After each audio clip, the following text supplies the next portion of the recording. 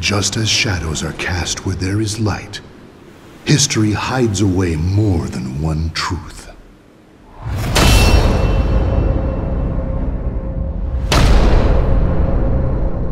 The wait is over. Let's begin!